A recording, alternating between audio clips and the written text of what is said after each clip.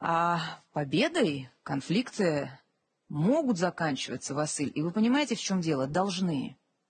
Потому что если конфликт не заканчивается победой, ради чего эти жертвы были? Ведь люди погибли уже. Так они Правда погибли же? с обеих сторон. Конечно. Конечно. А Украина тоже хочет победы. Украина может хотеть все, что хочет. Это вы спросите у украинцев, я не украинка.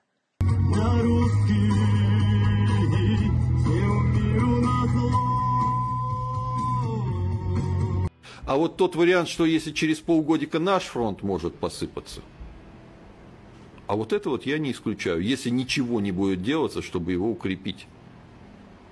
Пополнить, снабдить и укрепить. Если все будет делаться так же, спустя рукава и в надежде на авось, я эти надежды слышал с 2014 года. Меня осенью 2014 года со снисходительной улыбкой дяди в больших погонах, тогда еще они со мной общались, убеждали, ну, Игорь Иванович, ну, ну что вы, ну, ну развалится же Украина, в этом году, ну все, вот Майдан новый будет.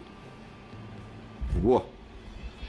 Наблюдайте, как она развалилась, как она замерзла. Турция отказывается от российских С-400 и не хочет помогать Москве обходить санкции.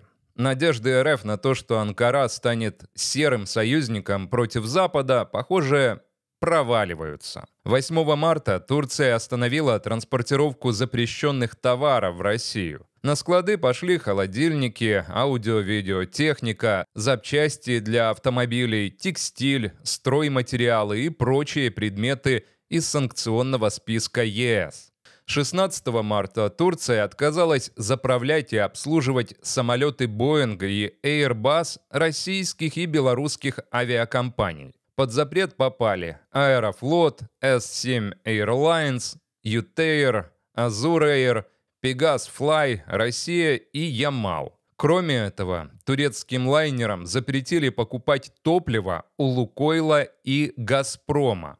Пару дней назад Турция поставила на паузу покупку у РФ второй партии систем С-400. Экс-депутат Багдасаров публично призвал объявить войну Турции и забрать Константинополь, изгнать Турцию из Средней Азии, Украины и с Южного Кавказа. Турция сейчас находится в тяжелом положении. Давайте воспользуемся. Изгоним ее из Средней Азии, расколем ее влияние на Украине, выгоним с Южного Кавказа. и вернем в состав нашего государства то, что исторически принадлежит нам.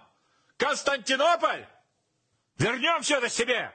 Все последние изменения в политике Турции – важный сигнал для стран Средней Азии.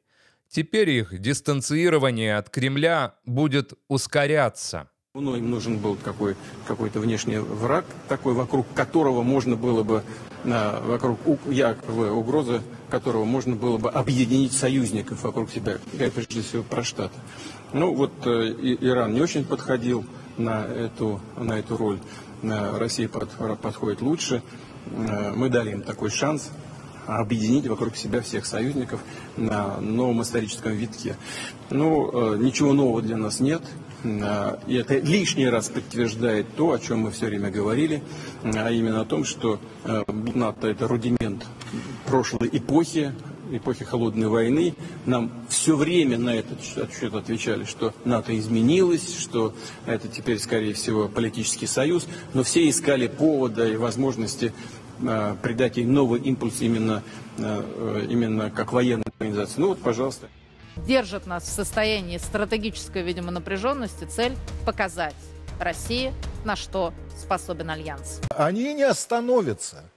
У них фантастический шанс закончить с нашей историей раз и навсегда. Тезис о том, что вот э, э, боролись против расширения НАТО за счет Украины, и, а теперь это получили за счет э, э, принятия Швеции и Финляндии, он э, не имеет под собой каких-то серьезных оснований. Потому что э, для нас членство э, Финляндии и Швеции в НАТО это совсем не то, что членство Украины в НАТО. Это совершенно разные вещи. Они это прекрасно понимают. Просто вбрасывают в общественное мнение тезис э, этот, чтобы показать, ага, вот Россия не хотела, а теперь вот получила вдвойне. Нет, это совершенно другая вещь. И мы отдаем себе в этом отчет. И они это понимают. Но для того, чтобы э, здесь подменить эти понятия, э, показать, что э, Россия не добивается нужного нам результата, э, это на нас, э- этим нас в заблуждение не, не ведут. Ну, хочется э, Швеция и Финляндия, пусть вступают.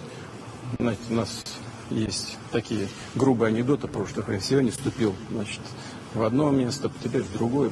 Это их дело. Пускай куда хотят, туда и вступают. Украина совершенно другое. Ну, хотят, пусть вступают, пожалуйста. Ну, вот, вот где цинизм высшей проб. После того, как президент Турции отозвал свое вето, этот процесс, вероятно, может не вызывать дополнительных сложностей. Сейчас, вероятно, наблюдатели будут обсуждать, кто оказался главным бенефициаром турецкого согласия – сам Эрдоган или его коллеги из Финляндии и Швеции. А вы вообще, кто там что-то тявкает? Но уверен, на самом деле главный бенефициар – это евроатлантическая солидарность. Наш президент знает, куда он ведет нашу страну. Не знаю, насколько это очевидное политическое поражение стало для российского пересидента сюрпризом. В строгом соответствии с утвержденным планом. Думаю, любой грамотный аналитик мог бы объяснить российскому пересиденту, что его успехи – это последнее, в чем заинтересован президент Турции. Эрдоган прекрасно помнит, что именно Путин нарушил международное право. Слава Украина! Важное умение. Оно сейчас нам всем очень нужно, на мой взгляд. Это умение вовремя завалить хлебало своих эмоций. Эрдоган может улыбаться Путину, поддерживать с ним контакты и даже принимать в Турции российского олигарха Романа Абрамовича, использующего ситуацию для спасения своих и путинских миллиардов. Но уверен, Эрдоган прекрасно помнит, что именно Путин нарушил международное право, когда оккупировал Крым – и когда решил изменить баланс сил в Черном море, что ставит под вопрос уже саму безопасность Турции. Нам просто некуда двигаться дальше. Вот в чем вопрос.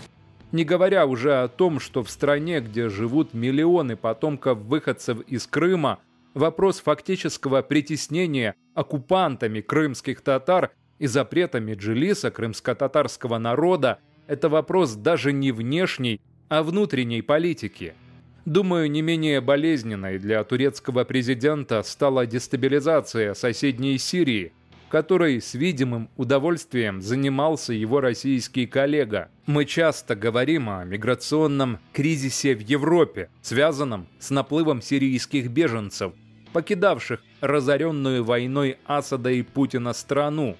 Но основное количество беженцев из Сирии приняла Турция – Вряд ли Эрдоган благодарен за это Путину. Да, возможно, турецкому президенту импонирует политический стиль российского правителя.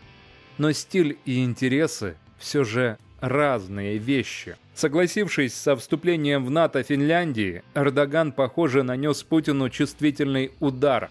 Вопрос даже не в том, что такое расширение альянса – проблема для безопасности РФ – Вопрос в том, что российская пропаганда, да и сам Путин кричат об этом постоянно. И вот теперь оказывается, что в НАТО собирается вступить страна, которая имеет протяженную общую границу с Российской Федерацией.